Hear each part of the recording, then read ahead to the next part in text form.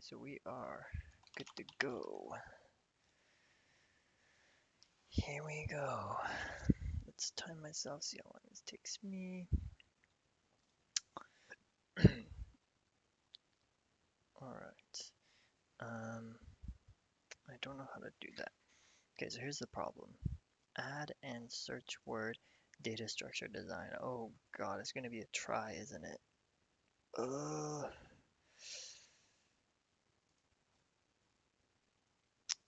Okay, um, it's probably going to be a trie data structure that I'll use, and we'll, we'll put this start time here. Uh, da -da -da. Okay, so start time. My goal is to do this as fast as I can. PM. Uh, I'll write this down. Approach one. Trie data structure, because um, pretty sure it's going to be a trie data structure. Right, well, design a data structure that supports the following two operations, add word and search word. That's okay. Search word can search a literal word or regular expression string containing only letters A to Z, or period. A period means it can represent any one letter. Okay, so so basically we'll add a word to our trie data structure. Okay, pretty simple. So add like bad, dad, and mad. Um, so let's see here. How am I going to do this? So what this data structure looks like will be, it will have a node, and then it will be connected to the, the B, and then I'll have the B connected to an A, and have it connected to D, okay, and then my other data structure, maybe I'll have a D here, and I'll have an A, and I have another D, and then I'll have an M, A, and a D, and then to be able to search through here, if you search for pad, it's going to return false because P doesn't match here. If you search for bad, it should return true. It should get this word. If you search period AD, uh, okay, so that's going to be kind of a different search than what I'm used to. So how am I going to search when it's like, so how, how am I going to work in the period here? That's the question. Okay, so normally what I would do is the period would kind of go, no, that's not right. Uh, let's do this again here. uh, so the period can stand in for any of the characters. So how, so if that's the case, I would have to be searching down all three of these paths. Like I would say, okay, ignore this character, but go down all three paths, I guess. If you have a period, go down all three paths and then you get to the next one and you say okay continue down and then you get to the next one and you know it satisfies it satisfies. So i would say the main idea is to continue down every single path i don't know what they're called um, it's kind of like a tree data structure right? So you, you fall down each of these paths until you get to the last character and if so and it matches you return true uh, otherwise you don't. And like for this other one is b and then we'll go to a and d and won't care but yeah, so the period, if I see a period, that means whatever this node is attached to, go to all of those, travel to all of those. And, um, and these are all lowercase letters, I'm assuming.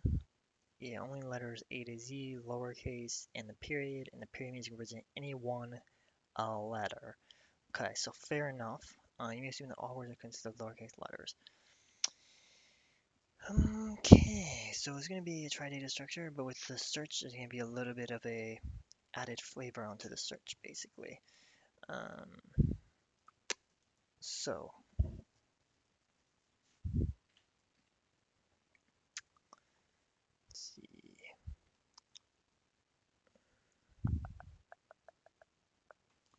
Okay, so one thing I can do is I can create a, uh, the data structure.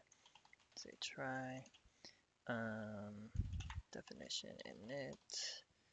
Uh, try this out. And then what do you want to initialize it? I don't, I don't think anything.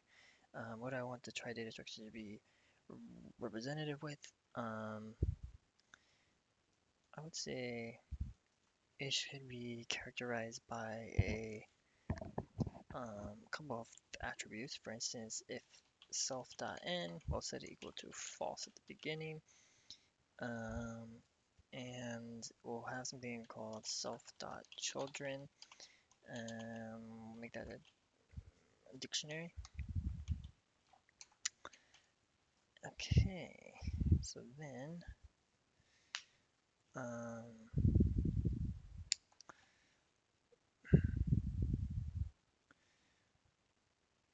I guess uh, technically I could just do this right here.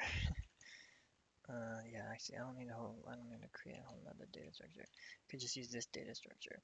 And then when you add a word into the data structure, what I'm going to do is basically do if, I'm going to use the Python thing, but what I'm going to do is my idea is basically create a dictionary and initialize a new object. So the word dictionary is I'm gonna keep initializing these over and over. So like what I'm thinking is take the current character, the first character in the word, um, which would be word zero, and then add that into the the data structure, but map it. So say, hey, this word has these children, and these children will be um, will be this trie data structure.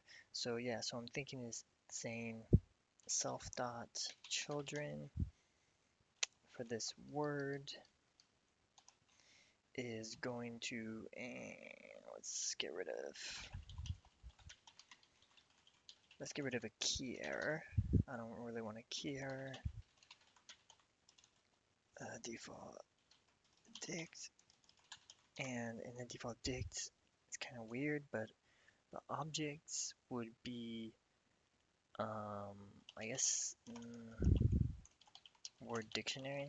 I don't know if I can do that but yeah I'm, I'm applying to make this dictionary map to you know word dictionary. So if I'm gonna do that I'm gonna do a pen and then do um, initialize another word dictionary. Uh,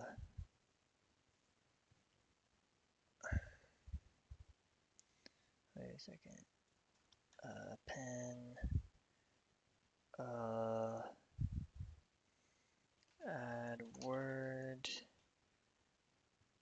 Um, no, no, no, no, append self dot add word. Word. Uh, everything after the first character. Okay so what this should do is basically append to this dictionary this self dot add word which is gonna be a um,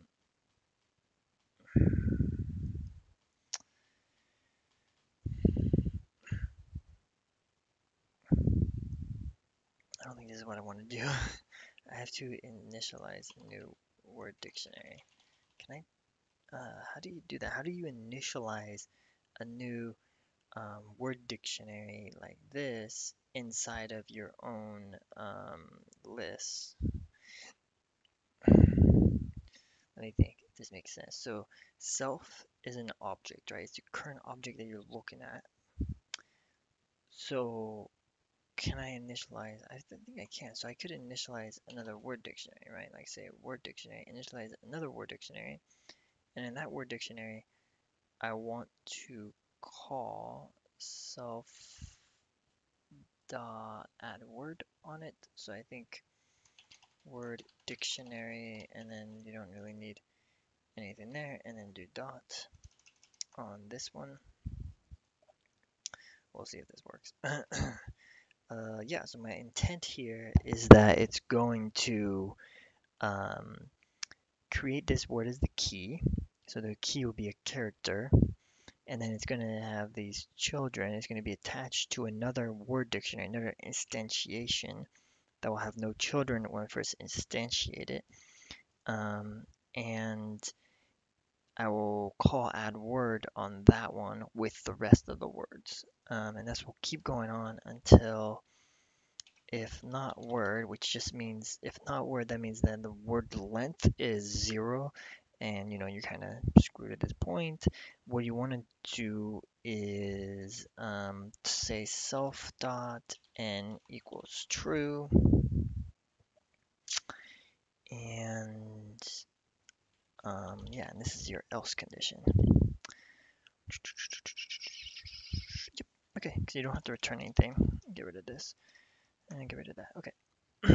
so this would be add word. Um, let's test it out. Uh, so we're going to test it out by printing out self.children. Um, maybe I should do this one. I think I'm okay.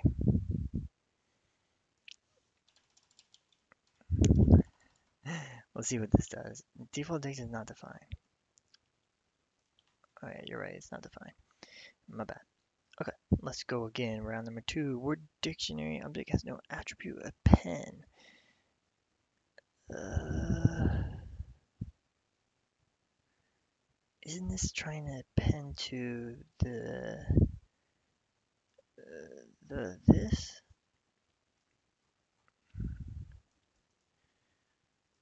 Uh,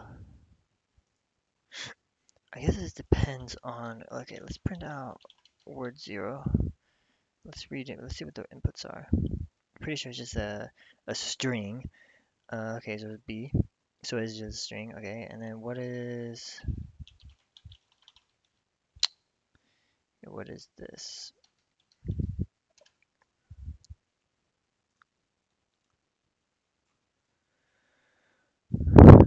It's a word dictionary object.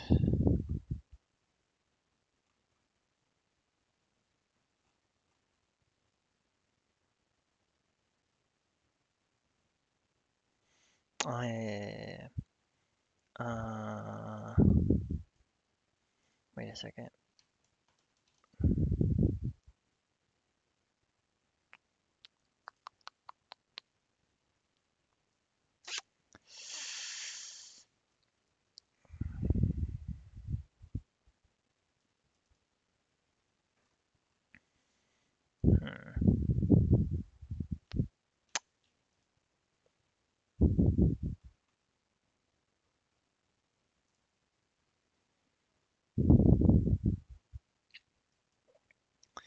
So I guess it initializes a word dictionary object. That's right, that's what the default dictionary will do for me. It initializes it um, already, so I don't have to initialize the word dictionary object. So okay, cool. So we are getting, um, these are not going to be true, I haven't coded that yet. But we are getting basically what I was hoping to see, which is, you know, um, these things are mapping. So see now D maps to this object, uh, this word dictionary object with this location hash map, or not hash map, but hexadecimal digit, hexadecimal string of digits. A then maps to this one, and B then maps to this um, one. And here we have D maps to this one, A maps that one, B maps to that one, and um, should be good to go. So then all we need to do is do a search. Um, so if not word, we want to return self.n. Um, I'm gonna have to change the code up, but right now I'm just gonna code a very simple thing. Um, I don't need else because it's return. I'll do self dot, sorry, uh, self dot search.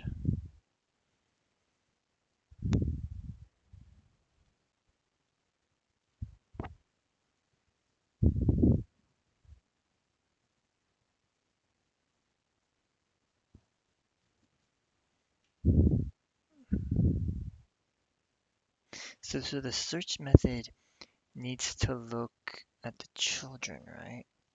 So, so if word zero is equal to uh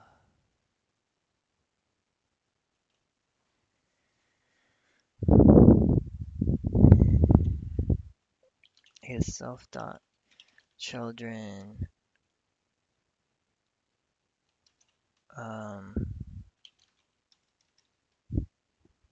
I want to look at the key. How do you look at the key? Um, let's see, let's try some stuff out. Print self dot children word keys uh Oh, I forgot how to do this. I think it is self.children.keys. I think that is the function call.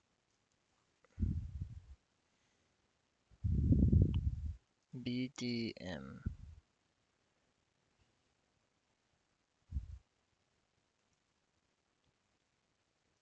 And that's uh that's just a list.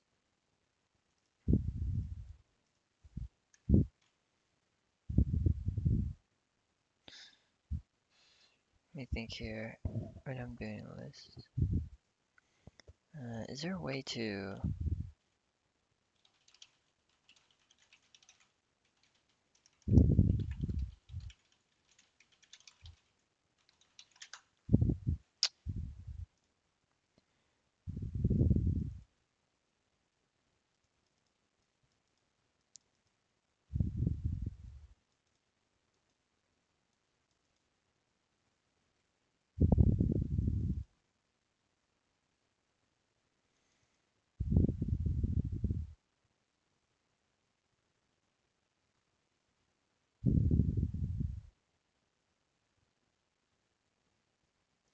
So it says the key can be used to access elements of dictionary as we can do for lists. Without use of keys, no other mechanism provides access to dictionaries as list by index. Okay. I kind of don't want to do this, but yeah, here we go. Um,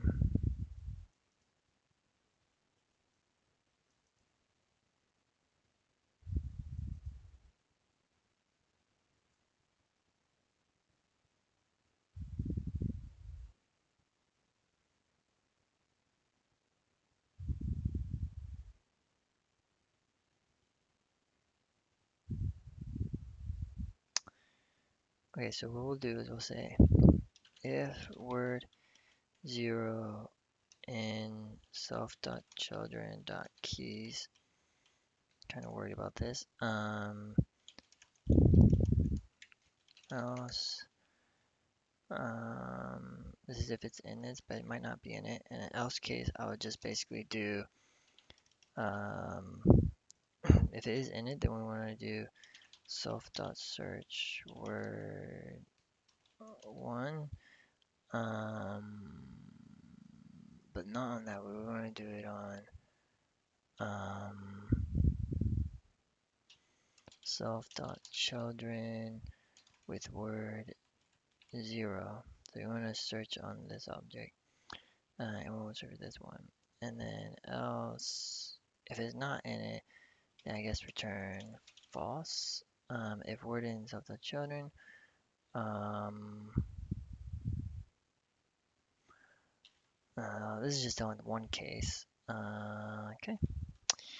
And main goal here is to see if it'll work for BAD. No, it doesn't work BAD, but okay. Uh, let's print, let's print. Um, print word actually. Let's see how it's iterating through it. So it gets B, okay, and then it gets AD, and then it has D, um, right, and this is for BAD, right? So PAD returns false instantly, but BAD you get all the way to the D, and then um, print self dot in, so I can figure out what's going on. And then bubbles, um, and then print self dot in here. because I'm just doing this because it's gonna do it's gonna say false, false, false, false, false, false, false, and it's gonna say true. Um,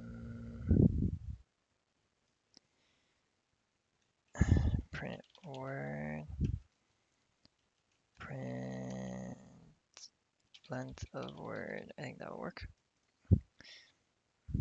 Mm, might not work. Zero, right? Zero. So print self dot in.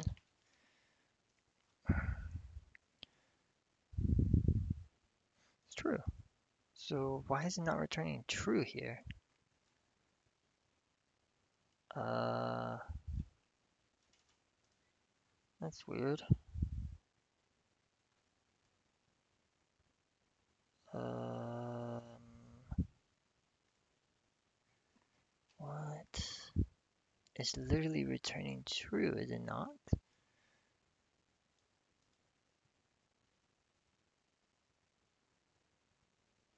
Oh, you know why? It's because you have to um you have to return from there. It's, it's a stack. Okay, so now it works. Okay, cool. Um, so then uh, let's see what else we're missing here. Okay, we're not missing anything here. Okay, now we have to figure out how to do this with the period. So period, whenever we see a dot, so if word and self.children, you do this. Um, I guess I'll do another case. elif um, word 0 equals uh, this.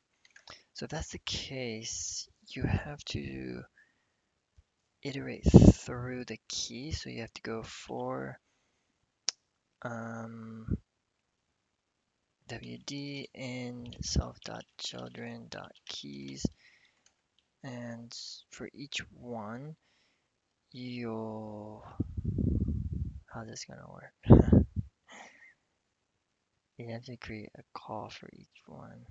Um, return self.children or let's see let me think what am I doing? For uh, words. Uh, return. Uh, you just do wd dot search word one. Yep. Um okay. I don't think that's gonna work but um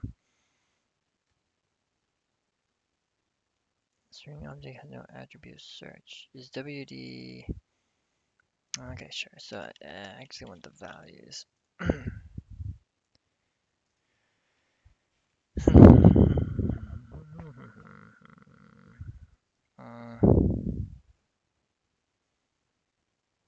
I wonder how this is working. So can I see? So putting on self dot n, so saying true, it says three two one zero. Um, it's interesting. I'm just gonna test this out, see if this will pass my test, and then I'm gonna explore a little bit more about it because I'm I mean tiny bitty bitty bitty bitty bitty bitty things. I'm not sure. Also, this return false should be nothing else. There's no reason to have an else there. There we go. Yep, so return false. If not word, return. If word zero, return. And I guess this could be another if because um, these are all just returning anyways. If not word, else, and that doesn't return anything, and this is that. Oh, and get rid of this. Okay, and we're gonna submit.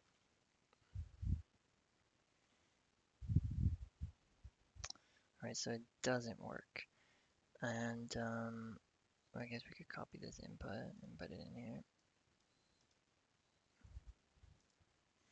So this would be a lesson to learn. So why does it not work? So we get null, null, false, false, false, null, null, false, true, true, true, false, false, false, false, false, true. So when does it not work? So it doesn't work here, which is basically we have one, two, three, four. So it's after the fourth search. So we have one, two, three, four. So it's the fourth search. No, it's the third search. So it's this one. Um, I don't know what this search is. So we add words. So we add these words. We add AT, we add AND, we add AN, we add ADD, we add A. Uh, wait, one, two, three, four, four adds. One, two, three, four adds. A search, we search A, cool, that probably returns false. Uh, then we search AT, that probably returns false as well. And then we add BAT, and then we search .AT, that should return true. Why would that not return true? Um, let's see, let's print out self.children.keys.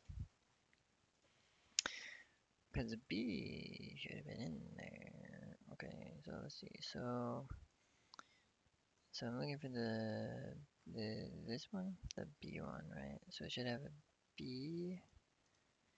Um, there's another way to do this.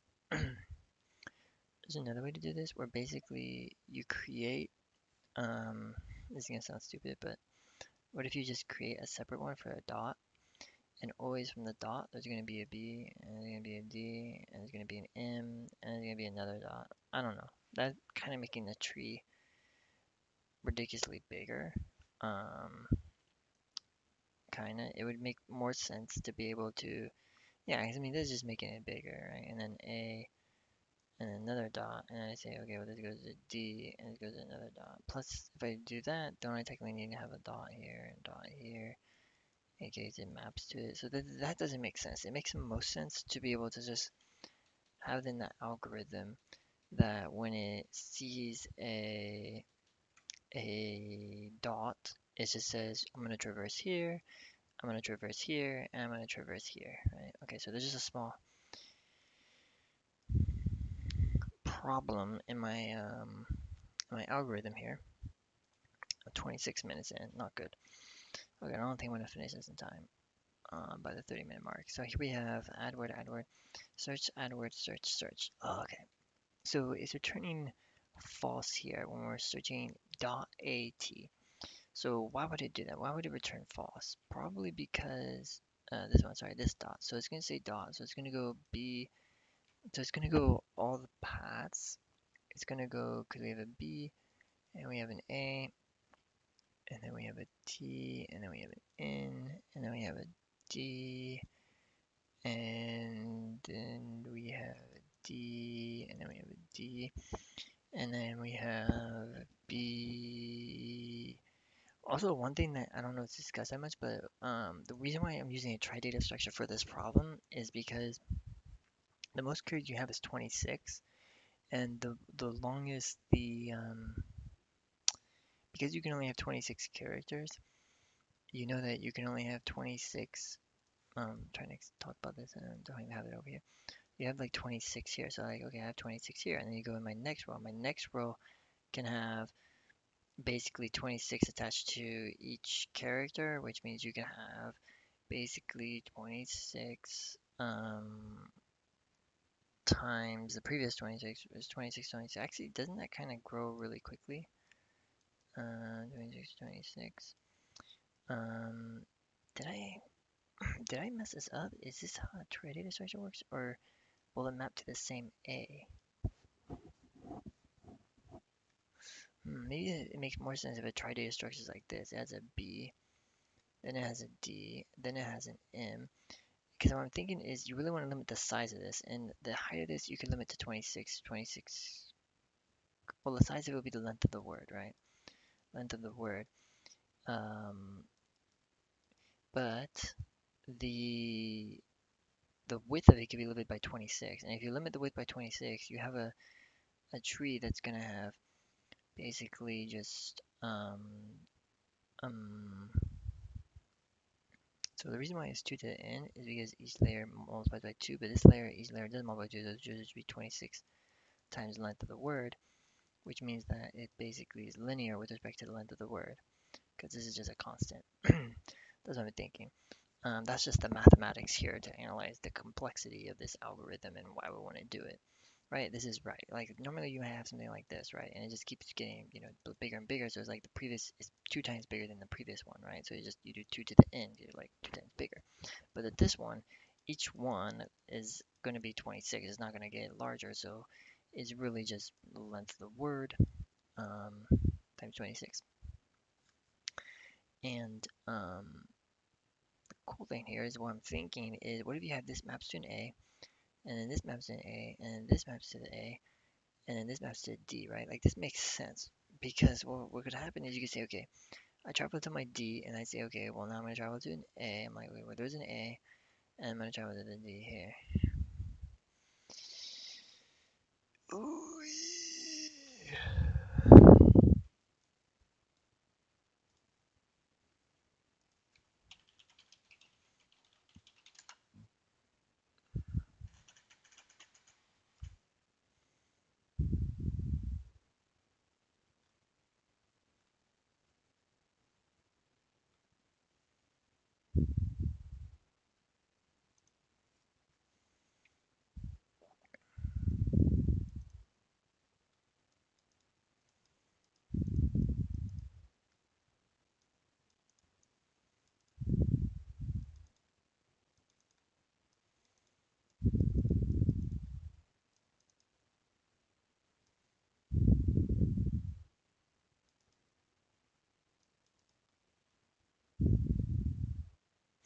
I feel like this still gets really big. So the worst case scenario is that each layer will grow by 26, I think.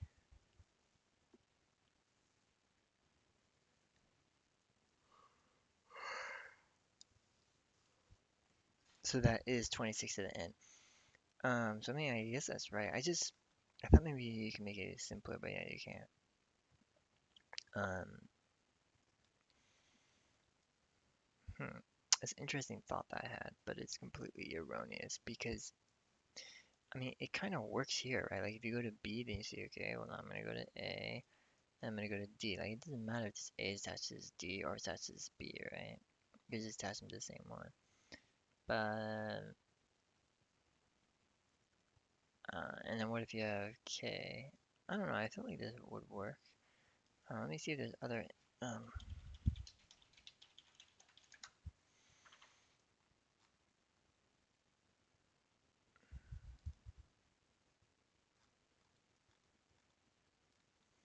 why would it be bad to not do that?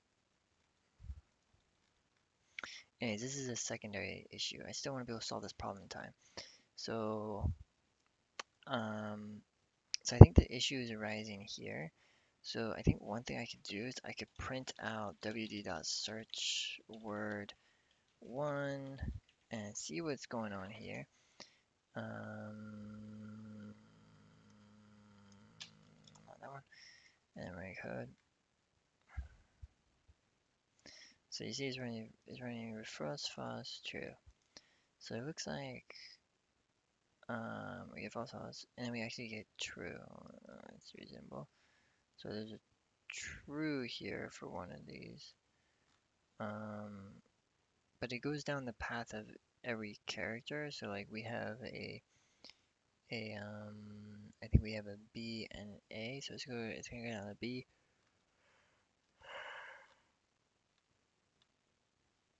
And it's gonna go down the A. Um, I think the A doesn't work out. So when it goes down the A, it returns false. See.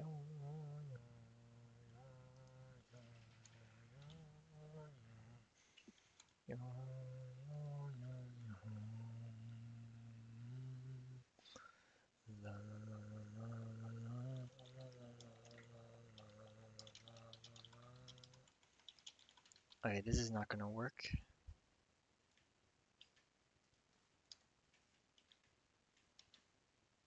I don't know why I clicked that. Alright, I'm gonna I wanna see what the word is. And a T and we get false. Okay, and then we have A T A T and we get false. And this time we get a T, a, and, and dot. What's this dot mean? Oh, because you're searching it. That's right. So you're searching a, and then you're searching dot at, right? I mean, search dot at, it goes to at, and then returns false. And then, um, what's this? I don't know. Then you search,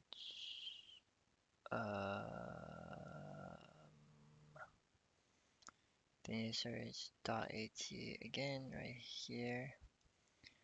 And it goes to at and it goes to false and it goes to at and dot and, and, and it true.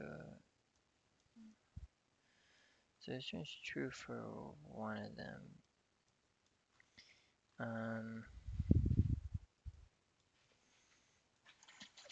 I'm pretty sure it's not working because when you have this thing down here where you have this return, it's like, it's like basically, I think this is what you want to do. You want to say if wd dot search word one, so if it's true, then I think you want to return true. Otherwise, you know, it's going to return false regardless. Yeah. yo, yo, yo, yo. What's up? What's up? What's up? What's up? What's up? Is this right? So we get true, uh, two trues, two trues, And yo, that looks actually correct. Because I guess oh, that did fix it. Whoa, that fixed it. Sweet. Okay, I think it took me a little over 30 minutes. Let's see my clock. Okay, it took me 35 minutes, but I did get distracted. I was starting to analyze the trie data structure in more detail than I should have, uh, because I was just trying to solve this problem as quickly as I could. So I feel like I did kind of succeed in doing my mission, but at the same time I didn't because I was being dumb or whatever. I don't know. But yeah, so this actually, this algorithm actually works. Uh, it passes this test, which we, which we wanted, and I mean that was cool. Like changing this worked, and I mean I understand why it worked because some of this path it was going down is going to return false, and those paths might end up because it's going to return false. It's going to return false for the problem, you know. But like, because it, might go down the truth path at the beginning, so it returns true, but then you know, th- then it goes down the false path and then it returns false. And I think this is what was happening, um, um, actually. But now what's going to happen is it's going to go down each of these paths, but the one that returns true is the only one that matters. So if the one that returns true, is going to return true. If there's none that returns true, that means that they must have returned false here. Um, return false because of this, probably. Um, actually, is this ever going to get called? Yeah, this will get called if basically the word doesn't match in the keys right now. Okay. Um, so yeah, so good problem. Um, using good good implementation of trie data structure. And now I'm going to explore this question I have about trie data structure. So I'm going to end the this recording. Um, thank you for watching. Thank you for watching me. Um, basically, relearn the trie data structure. And I'm going to stop this.